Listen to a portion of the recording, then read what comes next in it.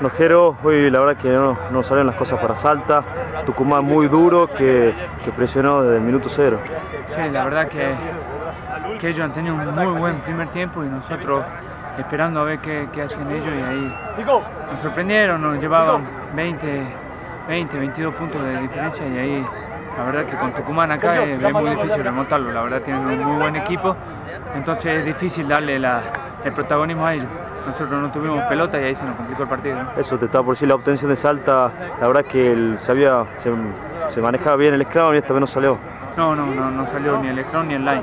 La verdad el mayor déficit fue el line, pero bueno, a laburar esta semana y, y, y buscar nuestro objetivo que es la semifinal. ¿no? Jero se vio que un poquito que como que faltó un poquito de actitud también en el primer tiempo, como que estaban medio caídos, puede ser por ya por el por el tanteador.